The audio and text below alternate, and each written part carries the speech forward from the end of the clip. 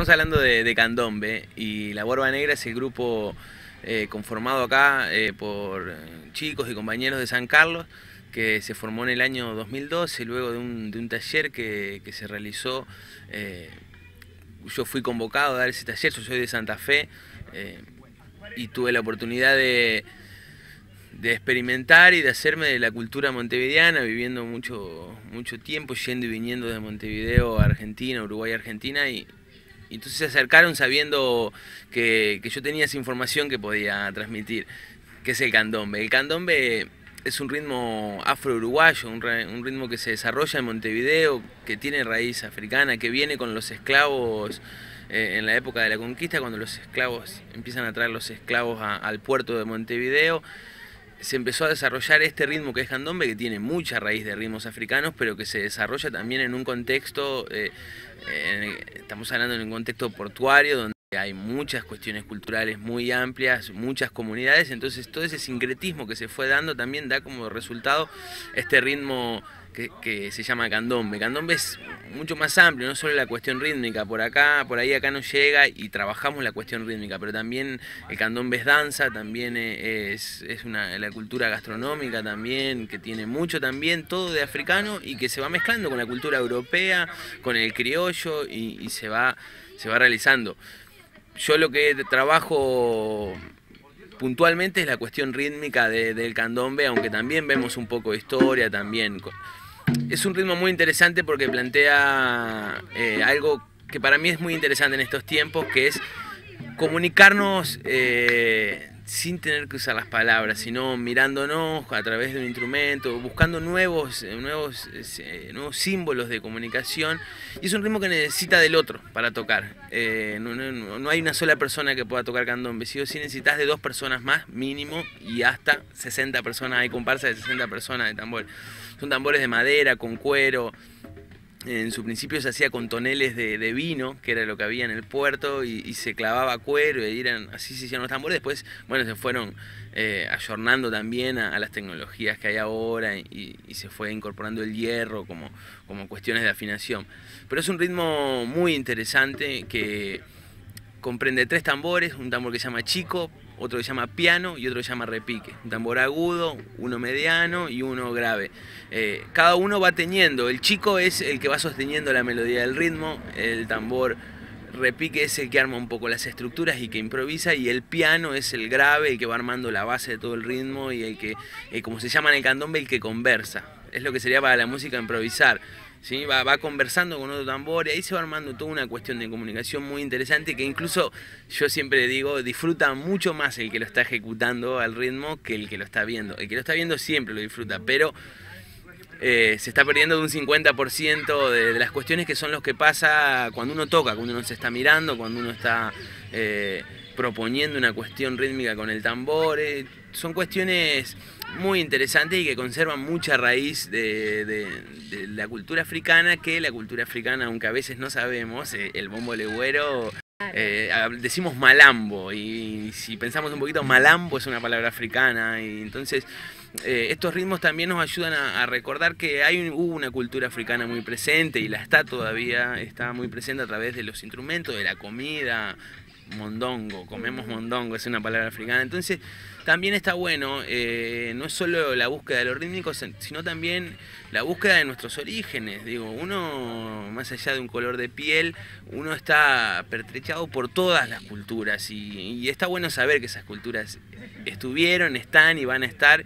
Y, bueno, y habla de esto, estamos en un momento también donde está, está bueno empezar a abrir los horizontes, compartir, ver qué, qué es la persona que tiene al lado. La persona al lado no es un color, no es un ritmo, no es, sino que es todo un conjunto de cosas y que, no, que nos puede dar. Entonces, mi, mi manera de trabajar la música siempre va desde lo comunitario y desde eh, encontrarse con el compañero y, de, a través de eso ir construyendo, en este caso, por ejemplo, un, San Carlos que cada vez eh, eh, disfrutemos más, que sea bien plural, que, podamos escuchar al, otro, escuchar las propuestas, uno proponer y construir entre todos un lugar. A eso, vamos. Eh, ¿Qué espacios, en qué espacios están trabajando? ¿Cuáles son los objetivos eh, bueno, inmediatos en relación a este poder interactuar con la comunidad sancarlina? La verdad es muy interesante. Yo tengo la, por suerte la experiencia de haber trabajado en muchos lugares del interior de Santa Fe. Digo, haciendo esta diferencia, porque como siempre pasa en todas las ciudades, en las capitales se concentra todo. Santa Fe, Rosario, siempre se concentra todo y a veces cuesta que la información llegue a otros lugares o que se abran esos espacios. Eh, yo estoy muy sorprendido felizmente y gratamente del trabajo que se está haciendo en San Carlos y con el municipio eh, con la cultura. ¿sí? Es algo que, no sucede en muchos lugares y que no se generan las posibilidades de trabajar este tipo de espacios, como es, eh, trabajamos en el carnaval, eh, fuertemente, donde pudimos integrar eh, diferentes personas de la comunidad que quizás antes eh, pasaban por al lado y ni se saludaban y bueno, y, se encontraron que eran muchas más las coincidencias que, se, que tenían como personas que a veces las diferencias que uno pueda tener, esas cosas que son muy lindas dentro del trabajo.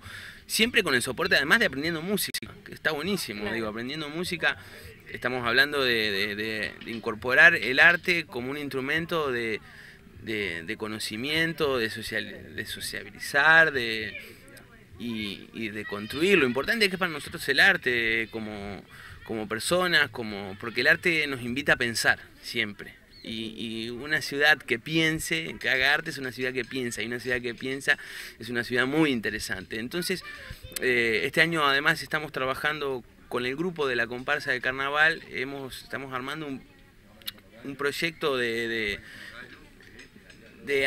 ampliar un poco más los conocimientos musicales a través de los instrumentos de batucada, pero viendo cómo integramos la cultura del folclore argentino a los instrumentos de batucada, la cultura eh, afrolatina, digo afrolatina porque cubana, uruguaya, eh, venezolana, peruana, hay mucho ritmo, hay mucha información que está encima inmersa en todo lo que nosotros escuchamos cumbia, escuchamos los palmeras, los palmeras, toda la cumbia tiene su origen en Colombia, todo lo que escuchamos acá. Entonces tiene que ver con eso, con eh, compartir, con ver que hay música, que hay información y que esa información nos hace pensar, nos hace debatir, nos hace eh, relacionarnos con eh, la cultura en el escenario es una cosa, pero es mucho más amplia también. La cultura es un pueblo, es una ciudad y, somos las personas. Entonces siempre la búsqueda tiene que ver con eso. Y, y es muy importante que en San Carlos se estén pudiendo desarrollar estos proyectos que son interesantísimos y que le da mucho crecimiento al lugar. Eh, ¿Esto lo están haciendo en qué espacio que tiene que ver con la cultura de, nuestra localidad? Lo están haciendo en el eh, Centro Municipal de Actividades Culturales. Eh, hoy estamos en el Paseo Parque, ¿por qué esto en particular? Bien, estamos, lo de la comparsa se trabajó en el Centro Cultural, después decidimos movernos para no molestar tanto a los vecinos también, ir, ir rotando un poquito, nos estamos viendo ahí en lo que es el Botánico, en la parte ahí donde está hay un salón ahí, ahí estamos trabajando y hoy particularmente estamos acá en el parque porque vamos a hacer el taller de candombe específicamente, que ya se viene realizando del 2012, como contaba con, con, el grupo de la Borba Negra, y que entre todos ellos me invitan a, bueno, vamos a hacer un taller de principiantes, como le, como le pusimos, para aquellos que estuvieron viendo esto de los tambores, o aquel que, por ejemplo, ahora está escuchando y que, a ver cómo es esto, eh, también pueda tener un espacio, un espacio público, que eso es algo muy interesante también de San Carlos, los espacios públicos, yo lo miro y me enamoro de cómo están poblados, cómo la gente los usa y entonces eso está muy lindo. Entonces, muy feliz también de haber elegido este espacio para trabajar. Y, bueno, invitamos a eso. El candombe, que como contaba hoy, tiene ciertas cuestiones rítmicas específicas, pero siempre mi manera de trabajar es mucho más amplia. El candombe es el soporte, pero vamos a trabajar la música, vamos a trabajar que es un compás, que es un tiempo, que, es el contratiempo, eh, disociación de mano. Bueno, todas esas cosas que son muy interesantes también desde lo rítmico. Eh, ¿Se van a seguir juntando aquí en el Paseo Parque, donde eh, por ahí aquí quien está interesado puede, digamos, acceder? ¿En qué espacio, en qué lugar? Es en el parque los sábados a las 15 horas, ¿sí? al lado de, los quinchitos, como para tener una referencia. Igual van a encontrar unos tambores muy particulares cuando vengan al parque, se van a dar cuenta que es, está bueno siempre venir puntual porque se trabaja eh, con, un proceso donde va el, conocimiento se va acumulando, entonces si uno llega en la mitad, se perdió. Bueno, como en todo taller, ¿no? Entonces eh, está bueno eso, están todos súper invitados. Eh, que vengan a, que no, no, tener vergüenza, venir a probar, siempre es muy abierto el espacio, si, si gusta, eh, está buenísimo y, si no, no pasa nada también. Eh, la idea es compartir siempre y encontrarse con el otro.